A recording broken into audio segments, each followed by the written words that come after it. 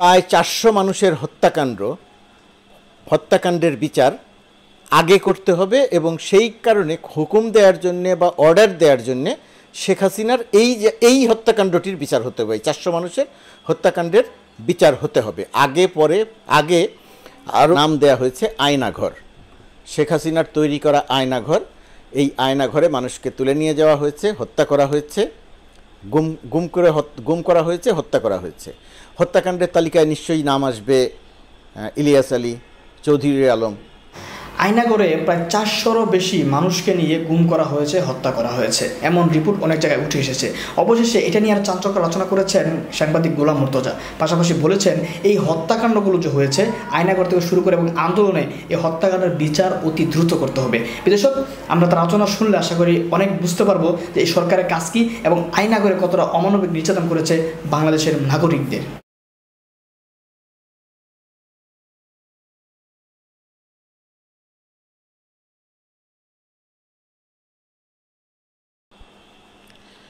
একটি সরকারের পক্ষে সব কিছু করে ফেলবে, প্রত্যাশা যেমনই থাকুক না কেন, সেটা আসলে সম্ভব নয়, সেটা আসলে বাস্তব নয়। কিন্তু বর্তমানের এই অন্তর্বর্তীকালীন সরকারকে কিছু কাজ আছে, যে কাজগুলো তাকে করতেই হবে। আবারও বলছি, যে কাজগুলো তাকে করতেই হবে। সুনির্দিষ্ট করে কয়েকটি কথা বলি। সুনির্দিষ্ট করে কথা বললে প্রথমে আসবে শেখ হাসিনার সরকার কমপক্ষে তিনশো মানুষকে হত্যা করেছে, প্রথম আড়াইশো মতো হত্যা করেছে ছয় দিনে, আর পরবর্তী কয়েকদিন পরে ক্ষমতা থেকে যাওয়ার আগের দিন, একদিন আগে, দুই দিন আগে আরও একশোর বেশি মানুষকে হত্যা করেছে। সব কিছু মিলিয়ে এটা তিনশো বললে তো ভুল বললাম, প্রায় চারশো মানুষকে হত্যা করেছে। প্রায় চারশো মানুষকে হত্যা করেছে শেখ হাসিনা সরকার। এই চারশো মানুষকে যে হত্যা করল, এই হত্যাগুলোর হত্যাকাণ্ডগুলো সংগঠিত হবার দায় কার? এই হত্যাকাণ্ডগুলো সংগঠিত হবার দায়, প্রথমে দায় প্রধানমন্ত্রী শেখ হাসিনার, সাবেক প্রধানমন্ত্রী যিনি পালিয়ে চলে গেছেন, সেই প্রধানমন্ত্রী শেখ হাসিনার। কারণ তিনি গুলি করার হুকুম দিয়েছিলেন। তিনি শক্তি প্রয়োগের হুকুম দিয়েছিলেন, বল প্রয়োগের হুকুম দিয়েছিলেন। পুলিশ দলীয়, আওয়ামী লীগের দলীয় সন্ত্রাসীদের সঙ্গে নিয়ে গুলি করে মানুষ হত্যা করেছে। এই কারণে এই প্রায় চারশো মানুষের হত্যাকাণ্ড, হত্যাকাণ্ডের বিচার আগে করতে হবে এবং সেই কারণে হুকুম দেওয়ার জন্যে বা অর্ডার দেওয়ার জন্যে শেখ হাসিনার এই যে, এই হত্যাকাণ্ডটির বিচার হতে হবে। চারশো মানুষের হত্যাকাণ্ডের বিচার হতে হবে। আগে, পরে, আগে আরও যত রকমের অপরাধী থাক, যা কিছুই থাকুক না কেন, সেগুলোর বিচার করতে পারবে কি পারবে না, সেটা সময়ের সঙ্গে দেখা যাবে। কিন্তু এই চারশো মানুষের হত্যাকাণ্ডের দায়ে শেখ হাসিনার বিচার হতে হবে। কারণ তিনি হুকুম দিয়ে গুলি করে মানুষকে হত্যা করেছেন ক্ষমতায় থেকে যাওয়ার জন্য। এই চারশো মানুষ হত্যাকাণ্ডের দায়ে ওবায়দুল কাদেরের বিচার হতে হবে।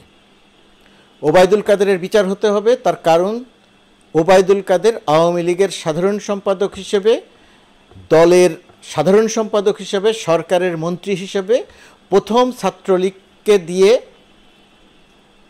এই কোটা সংস্কার আন্দোলন যারা করেছে, বৈষম্য বিরোধী ছাত্র আন্দোলন যারা করেছে, তাদের উপর হামলা করিয়েছে।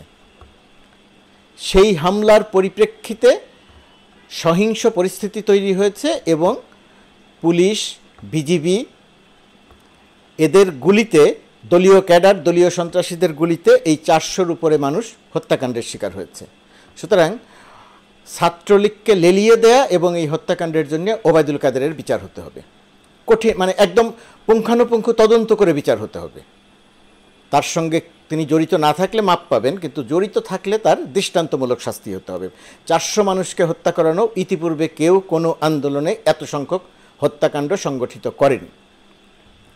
এই দুটি নেতৃত্বের কথা বললাম। এই নেতৃত্বের পরে আরও আরও অনেক অনেক আসবে। সেগুলো তদন্তের পর্যায়ে যার যতটুকু দায় আসবে, ততটুকু আসবে যুবলীগ ছাত্রলীগ, এদের যে নেতারা ক্যাডাররা যে হুকুম দিয়েছেন, সন্ত্রাসী কর্মকাণ্ড করিয়েছেন, মানুষ হত্যা করিয়েছেন, তাদের বিচার হবে। এর বাইরে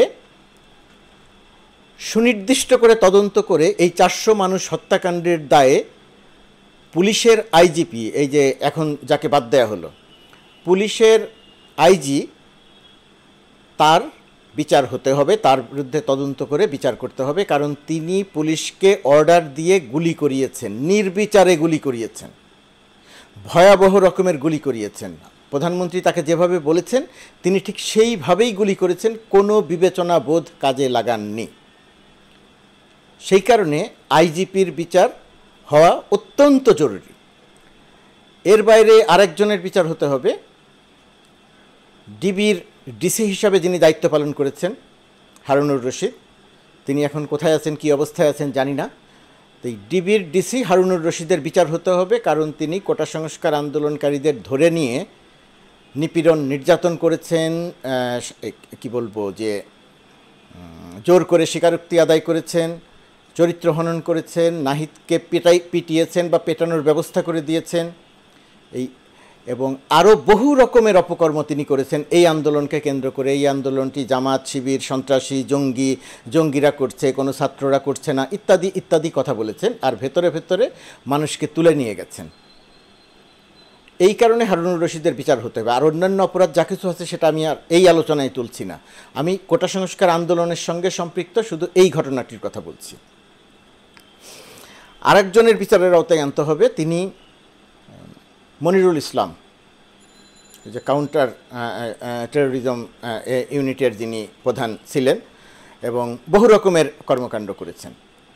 এবং তিনি নেপথ্যে থেকে যে ধরনের কর্মকাণ্ড করেছেন এবং এই কোটা আন্দোলনকে কেন্দ্র করে তার আগে যে ভূমিকা রেখেছেন এবং যেভাবে মানুষকে তুলে নিয়ে গেছেন, মানুষকে নিপীড়ন, নির্যাতন, হত্যা করেছেন, করিয়েছেন, এই কারণে তার বিচার, তাকে বিচারের আওতায় আনতে হবে এই সাম্প্রতিক ঘটনার পরিপ্রেক্ষিতে। আর সাম্প্রতিক ঘটনার পরিপ্রেক্ষিতে প্রধানমন্ত্রী শেখ হাসিনা পুলিশের যে আইজি বিদায় নিলেন সেই আইজি, তার আগের আইজি সহ তাদেরকে সেই ঘটনাটিতে আইনের আওতায় আনতে হবে, হারুনকে আইনের আওতায় আনতে হবে, মনিরুল ইসলামকে আইনের আওতায় আনতে হবে এবং আরও অন্যান্য গোয়েন্দা সংস্থাকেও আইনের আওতায় আনতে হবে। কী কারণে আনার কথা বলছি? আয়নাঘর। আয়নাঘর আপনারা বুঝতে পারছেন। মানুষকে তুলে নিয়ে গিয়ে আয়নাঘরে আটকে রেখে নির্মম নির্যাতন, ওই যে মার্কিন যুক্তরাষ্ট্রের গোয়ান্তমানামা বের হাসপাতালের কারাগারের মতো আয়নাঘর বানিয়েছেন এই স্বাধীন বাংলাদেশে প্রধানমন্ত্রী শেখ হাসিনা ক্ষমতায় টিকে থাকার জন্যে। যাদেরকে ধরে নিয়ে গেছেন, তাদের অনেককে খুন করেছেন, গুম করেছেন, হত্যা করেছেন। কাউকে কাউকে আট বছর আটকে রেখে মুক্তি দিয়েছেন, কাউকে কাউকে পাঁচ বছর আটকে রেখে মুক্তি দিয়েছেন। সাম্প্রতিক এরকম তিনটি মুক্তির ঘটনা ঘটেছে। যাদেরকে মুক্তি দেওয়া হয়েছে, তাদের নামে যদি অভিযোগ থাকে, অবশ্যই তাদের নামে মামলা হয়ে, বিচার হয়ে তার শাস্তি হতে পারে। কিন্তু এই যে আয়নাঘর তৈরি করে রেখে, আয়নাঘর তৈরি করে তার মধ্যে আটকে রেখে মানুষকে যে নিপীড়ন নির্যাতন করেছেন, নিষ্ঠুরতম নির্যাতন করেছেন, বিভীষিকাময় নির্যাতন করেছেন, মধ্যযুগ বা তারও আগের যুগের সেই বর্বর যে নির্যাতন করেছেন, এই কারণে প্রধানমন্ত্রী শেখ হাসিনা পুলিশের যখন জেআইজি, জেআইজির সময় এই কর্মকাণ্ডগুলো হয়েছে, তাই সেটা ঢাকার কমিশনার হিসেবে যারা দায়িত্ব পালন করেছে, তারা ডিবি বা যে সমস্ত গোয়েন্দা সংস্থা আছে, সেই সমস্ত গোয়েন্দা সংস্থার যাদের এইখানে ভূমিকা ছিল, তাদের সবাইকে আইনের আওতায় আনতে হবে। অনেক বড় বিস্তৃত করা যাবে না, সুনির্দিষ্ট করে সাম্প্রতিক ঘটনা প্রভাবের কারণে এই তাদেরকে বিচারের আওতায় আনতে হবে। তকি হত্যাকাণ্ডের বিচার যারা করল না? নারায়ণগঞ্জের তকি তানভীর তকি তকি হত্যাকাণ্ডের বিচার যারা করল না? তাদেরকে শনাক্ত করতে হবে। কেন তারা বিচার করল না? প্রধান, কেন বিচার করল না? কারণ প্রধানমন্ত্রী নিজে ওসমান পরিবারকে সুরক্ষা দিয়েছেন সংসদে বক্তৃতা করে। জিয়াউল হাসান, এই যে যে জিয়াউল হাসান এখন বহিষ্কার হলেন, এই জিয়াউল হাসান র্যাব যখন র্যাবে ছিলেন, তখন র্যাব তকি হত্যাকাণ্ডের তদন্ত করেছিল এবং আজমেরি ওসমান সেলিম ওসমানের ছেলে, সেলিম ওসমান তো নয়, নাসিম ওসমানের ছেলে সহ আরও যারা জড়িত ছিলেন, তাদের সুনির্দিষ্ট করে তথ্য বের করেছিলেন। কিন্তু সেই তদন্ত চাপা পড়ে যায়। নতুন করে তদন্তও হয়নি, কারণ প্রধানমন্ত্রী চাননি এই বিচারটি হোক। সুতরাং তকি হত্যাকাণ্ডের বিচার, প্রথমত কথা, তকি হত্যাকাণ্ডের বিচার করতে হবে। দ্বিতীয়ত কথা, তকি হত্যাকাণ্ড যারা চাপা দিলেন, তাদের বিচার করতে হবে। সেই হিসাবে সাবেক প্রধানমন্ত্রী শেখ হাসিনা আসবেন আরও যারা আসার, তারা আসবেন। আরেকটি হত্যাকাণ্ডের বিচার তা এখন করতে হবে, সাগর, সাংবাদিক দম্পতি সাগর রুনি হত্যাকাণ্ডের বিচার। সাগর রুনি হত্যাকাণ্ডের বিচার যারা চাপা দিচ্ছেন, যারা বারবার একশো দেড়শো বার মামলার তারিখ নিচ্ছেন, তারিখ পেছাচ্ছেন মামলার তারিখ মানে মাম, তদন্ত প্রতিবেদন জমা দেওয়ার তারিখ পেছাচ্ছেন। প্রথমত কথা, সাগর কারা হত্যাকাণ্ড, হত্যা করল, তাদেরকে তদন্তের মাধ্যমে খুঁজে বের করে অবিলম্বে একেবারে দৃষ্টান্তমূলক শাস্তি দিতে হবে, সমাজের সে যেই হোক, যারাই হোক। দ্বিতীয়ত কথা সাগররণী হত্যা মামলা যারা তদন্ত করতে চায় না, যারা এই ঘটনাটিকে চাপা দিতে চায় এই হত্যাকাণ্ডটিকে, তাদেরকে খুঁজে বের করে বিচার করতে হবে। এরকম আরও বহু আছে, কিন্তু আমি সেই বহু বলছি না, তবে আর্থিক খাতে আরেকটি জায়গার তদন্ত করতে হবে, বিচার করতে হবে। সেই জায়গাটি হচ্ছে বাংলাদেশ ব্যাংকের যে ডলার চুরি হয়েছিল, আমাদের টাকা, জনগণের টাকা, সেই ডলার চুরির দায়ে সেই সময়ের গভর্নর ডক্টর আতিউর রহমান সহ সিআইডির তদন্তে যারা দোষী সাব্যস্ত হয়েছেন, সিআইডির তদন্ত প্রতিবেদনে যাদের নাম ছিল, তাদের সবার দৃষ্টান্তমূলক শাস্তি শাস্তি হতে হবে, অতি দ্রুত হতে হবে। আবারও বলছি, একটি সরকারের পক্ষে সব কিছু করে ফেলা সম্ভব নয়, কিন্তু এই হত্যাকাণ্ডগুলো শেখ হাসিনার তৈরি করা আয়নাঘর, এই আয়নাঘরে মানুষকে তুলে নিয়ে যাওয়া হয়েছে, হত্যা করা হয়েছে। গুম গুম করে গুম করা হয়েছে, হত্যা করা হয়েছে। হত্যাকাণ্ডের তালিকায় নিশ্চয়ই নাম আসবে ইলিয়াস আলী, চৌধুরী আলম আরও অনেক। এখনও মানুষের কান্না, ছবি নিয়ে মানুষ ঘোরে। ওই যে বিএনপি নেতা সালাউদ্দিনকে কি বলে, মেঘালয়ে নিয়ে গিয়ে ছেড়ে দেওয়া হয়েছে। এরকম বহু ঘটনা আছে। অর্থাৎ আওয়ামী লীগের এই কেন্দ্রিক অপকর্ম এবং অপরাধ এত বেশি যে সাধারণ মানের মানুষের কাছে আওয়ামী লীগ একটা আতঙ্কের নাম হিসেবে মনে হয়েছিল। ভয় দেখিয়ে মানুষকে চুপ রাখার নীতি নেওয়া হয়েছিল এবং সেই ভয়টা হচ্ছে হত্যাকাণ্ড এবং যে কোনো কিছু হলেই গুলি করে দেয়া। আর এরপরে আসে দুর্নীতির প্রসঙ্গ। দুর্নীতিটাতে আওয়ামী লীগ একটা শৈল্পিক রূপ দিয়েছে, একেবারে নিচে থেকে উপর পর্যন্ত। যে যেভাবে পড়েছে, দুর্নীতি করেছে। কেউ ব্যাংক লুট করেছে, তাকে কিছু বলা হয়নি। দশ টাকার প্রকল্প দশ হাজার টাকা করে নেওয়া হয়েছে, সুযোগ দেওয়া হয়েছে, যেমন মেট্রো রেল। মেট্রো রেল ছিল বাইশ হাজার কোটি টাকার প্রকল্প, একবারে এগারো হাজার, সাড়ে এগারো হাজার কোটি টাকা বাড়ানো হয়েছে। পদ্মা সেতু, সাড়ে বারো হাজার কোটি টাকার প্রকল্প, কত? পঁয়ত্রিশ হাজার কোটি টাকায় গিয়ে ঠেকেছে। পৃথিবীর সবচেয়ে ব্যয়বহুল সড়ক নির্মাণ হয় বাংলাদেশে। চীন বা ইউরোপে বা ভারতে যেটা পাঁচ সাত কোটি থেকে পঁচিশ তিরিশ কোটি টাকা পার কিলোমিটার খরচ হয়, বাংলাদেশে খরচ হয় সত্তর কোটি পার কিলোমিটার নব্বই কোটি, একশো বিশ কোটি, একশো পঞ্চাশ কোটি, কোনো কোনোটা একশো আশি কোটি টাকা খরচ হয়। মানে এই যে অন্যায়, অনিয়ম এবং দুর্নীতি, এটাকে একেবারে ভয়াবহ রূপে রূপ দিয়েছিল আওয়ামী লীগ। টাকা পাচার হয়েছে। মানে বাংলাদেশ পৃথিবীর সবচেয়ে বেশি টাকা পাচার করে। মানে টাকা পাচারকারী দেশ হিসেবে পরিচিতি পেয়েছে বাংলাদেশ। বাংলাদেশ ব্যাংক থেকে শেখ হাসিনার অর্থ গভর্নর তার দলবল নিয়ে মানে রিজার্ভ হাইজাক করে, রিজার্ভ চুরি হয়েছে, সেটাকে ধামাচাপা দেওয়ার চেষ্টা করেছে। সুতরাং তারাই এই চুরির সাথে জড়িত, সেটা বোঝা যায়। এরকম বহু ব্যাংক মানে বহু ব্যাংক নয়, প্রায় সবগুলো ব্যাংক আর্থিক খাত একেবারে ধ্বংস করে দেওয়া হয়েছে। এস আলমকে আট দশটি ব্যাংক দিয়ে দেওয়া হয়েছে। এস আলম এক বিলিয়নেরও বেশি টাকা দেশের বাইরে প্রচার পাচার করেছে, কিন্তু কোনো কিছু বলা হয়নি। এরকম আরও বহু আছে। অর্থাৎ দুর্নীতির একটা ভয়াবহ আকার জায়গাতে নিয়ে গেছে শেখ হাসিনা সরকার। এবং এটা সাধারণ মানুষ পর্যন্ত সবাই জানে যে এমপির পাঁচ লাখ টাকা ছিল না, তার তার সম্পদ বেড়েছে দুই, তিন, চার, পাঁচ হাজার গুণ। যে উপজেলা চেয়ারম্যানের কোনো সম্পদ ছিল না, তার সম্পদ বেড়েছে পাঁচ, দশ হাজার গুণ। তো এইটা করে আওয়ামী লীগ একেবারে ভয়াবহ রকমের দুর্নীতির সুযোগ দিয়েছে সবাইকে। তো এটা মানুষের মনে একেবারে গেথে আছে যে আওয়ামী লীগ দেশটাকে ধ্বংস করে দিল, টাকা পাচার করল। আর এর বাইরে প্রোপাগান্ডা, আরেকটা আছে শিক্ষা, তো শিক্ষাটা নিয়ে আজকে কথা বলব না। ওটা তো সাধারণ মানুষকে এখনই অত বড়োভাবে আঘাত করছে না আরও কিছুদিন পরে করবে। আরেকটা হচ্ছে প্রোপাগান্ডা। আওয়ামী লীগ একটা প্রোপাগান্ডা মেশিনে পরিণত হয়েছিল এবং একদম মিথ্যা তথ্য, সেই মিথ্যা তথ্যকে সত্য করার জন্য একটা প্রোপাগান্ডা মেশিনে পরিণত হয়েছিল এবং আওয়ামী লীগের এক একজন মন্ত্রী, প্রতিমন্ত্রী, আওয়ামী সমর্থক হিসেবে যারা পরিচিত ছিলেন, তারা এগুলোকে একটা মানে কি বলব?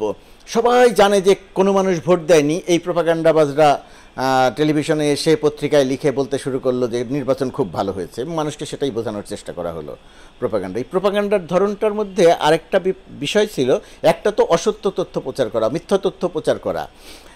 সন্ত্রাস করেছে আওয়ামী লীগ, সেটা বিএনপির উপরে চাপানো। আগুন দিয়েছে আওয়ামী লীগ, সেটা বিএনপির উপরে চাপানো।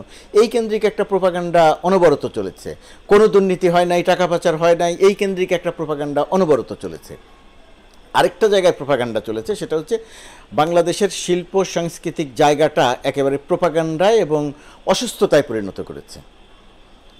সেখানে যারা নেতৃত্ব পর্যায়ে ছিল আওয়ামী লীগের তাবেদার টাইপের সরকারের তাবেদার টাইপের তারা প্রতিনিয়ত অসত্য তথ্য দিয়ে গেছে, সত্যটা গোপন করেছে, অসত্যটা প্রচার করেছে। আর আরেকটা জায়গাতে এই প্রোপাগান্ডার মধ্যে তারা গণমাধ্যমকে ব্যবহার করেছে এবং এই গণমাধ্যমের একটা বড় অংশ অংশ যাতে একটা প্রোপাগান্ডা মেশিনে পরিণত হয় এবং সেই প্রোপাগান্ডা মেশিনে পরিণত হলে গণমাধ্যমের কোনো কথা যাতে মানুষ বিশ্বাস না করে, আওয়ামী লীগ বা শেখ হাসিনা এটা খুব পরিকল্পিতভাবে করেছে। পক্ষের গণমাধ্যমকে দিয়ে অনবরত মিথ্যা প্রচার করিয়েছে।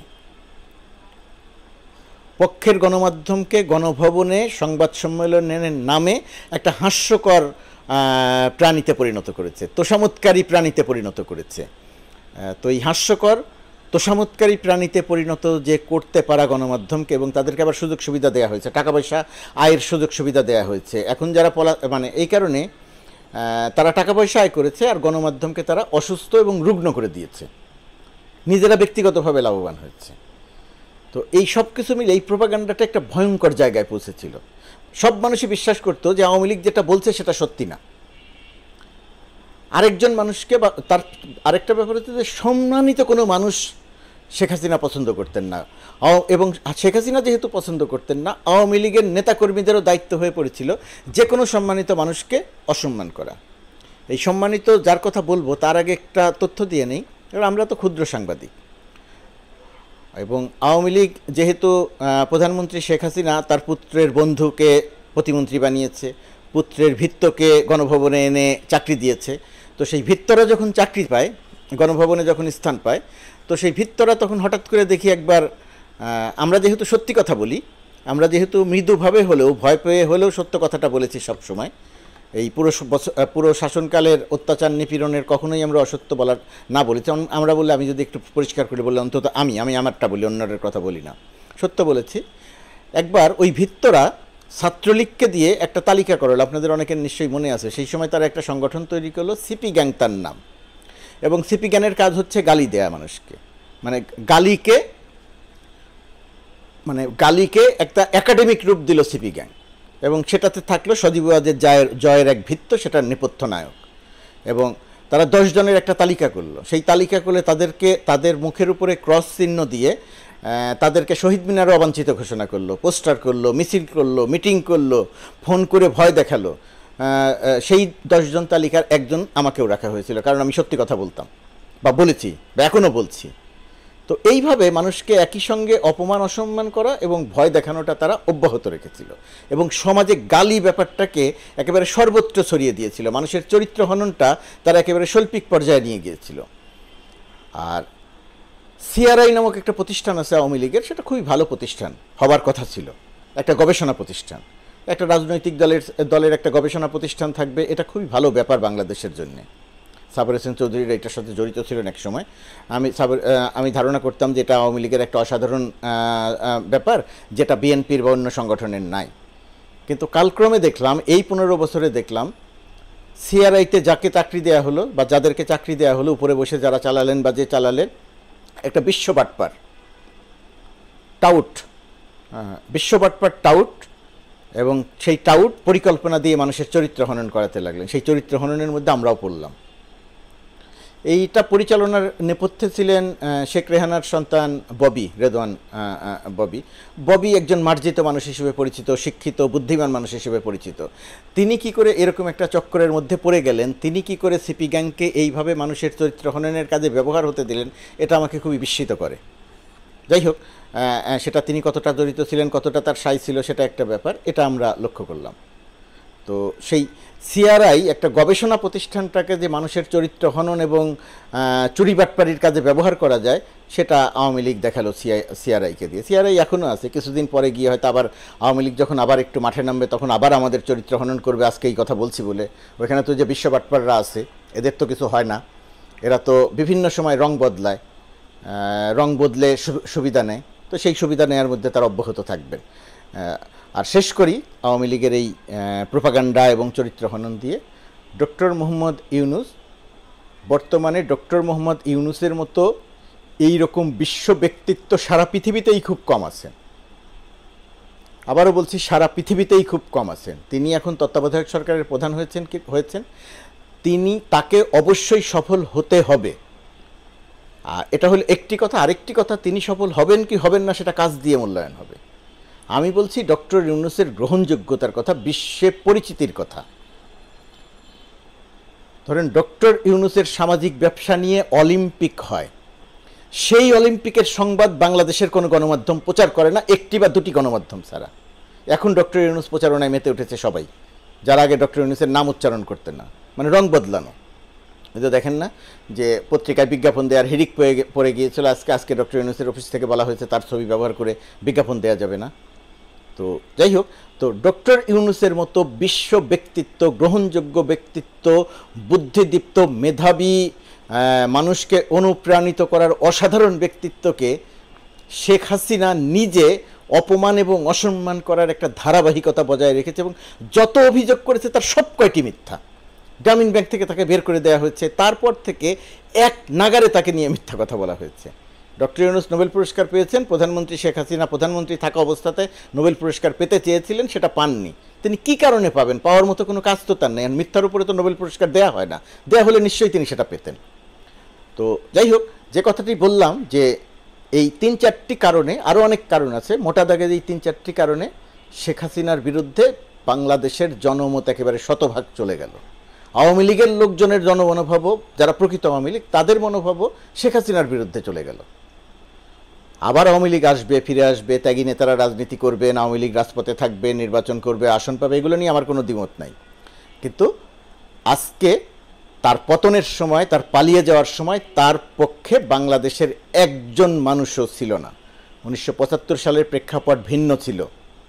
আর দুই হাজার চব্বিশ সালের প্রেক্ষাপট এক নয়। এখন তার পক্ষে লোক থাকতে পারত, কিন্তু তার কৃতকর্ম এবং অপরাধমূলক কর্মকাণ্ডের কারণে, দানবীয় কর্মকাণ্ডের কারণে, স্বৈরতান্ত্রিক আচরণের কারণে মানুষ খুন, দুর্নীতি এবং প্রোপাগান্ডার আশ্রয় নিয়ে ক্ষমতা দখল করে রাখার কারণে, নির্বাচনকে মানুষকে ভোট দিতে পারান দিতে না দেওয়ার কারণে জনমত সম্পূর্ণরূপে তার বিরুদ্ধে চলে গেল। মানুষ শেখ হাসিনার উপরে ক্ষিপ্ত, ক্ষুব্ধ। সেই ক্ষিপ্ত এবং ক্ষুব্ধতার প্রকাশ ঘটেছে ছাত্র জনতার গণ আন্দোলনে এবং তিনি পালিয়ে যাওয়ার সময় একজন মানুষকেও পাওয়া যায়নি যে তার পক্ষে দাঁড়িয়ে বলবেন যে শেখ হাসিনা একজন মাল ভালো মানুষ ছিলেন বা তার পাশে আমরা আছি। একজন মানুষকেও বাংলাদেশে পাওয়া যায়নি। পাওয়া হয়তো যাবে, পরবর্তীতে কিন্তু তার পতনের সময় কাউকে পাওয়া যায়নি। তার পালিয়ে যাওয়ার সময় কাউকে পাওয়া যায়নি। এটাই ইতিহাসের নির্মম বাস্তবতা। দর্শক গোলাম মুর্তজার আলোচনা শুনেছেন, শুনে বুঝতে পেরেছেন আয়নাগর কি হয়েছে এবং আয়নাগরে কি নির্যাতন করা হয়েছে এবং আয়নাগরের পরিস্থিতিটা কী ছিল এবং আয়নাগরে কীভাবে মানুষ অত্যাচার করা আমরা ইতিমধ্যে জানতে পেরেছি। পাশাপাশি এই সরকারের অধীনে এবং নতুন যে সরকার হয়েছে, অতি দ্রুত এবং এটা অতি দ্রুত যত সম্ভব এই হত্যাকাণ্ডের বিচার করা। যারা এই আন্দোলনে শহীদ হয়েছে, তাদের হত্যাকাণ্ডের বিচার করা। এই শহীদের রক্ত শুকানোর আগে নির্বাচনে ভাবার কোনো প্রয়োজন আছে বলে মনে করি না। প্রথম কাজই হচ্ছে এই হত্যাকাণ্ডের বিচার করা। এরপর অন্য কিছু নিয়ে ভাবা যাবে। কারণ এই হত্যাকাণ্ডের বিচার যদি এখন না হয় গরম গরম, এর পরবর্তী তারা অন্য সরকারে এসে বিচার করবে না। কারণ আমি মনে করি এই বিপ্লবী সরকার এটা, এই আন্দোলনের সরকার, তারাই বিচার করতে পারবে। কিন্তু পরবর্তী সরকার এসে তাদের ফায়দা চেষ্টা করবে। কিন্তু এই সরকার বিচার করলে তারা বিচার করতে পারবে। এই জন্য যদি দ্রুত সম্ভব? আমরা মনে করি এই হত্যাকাণ্ডের বিচার করা।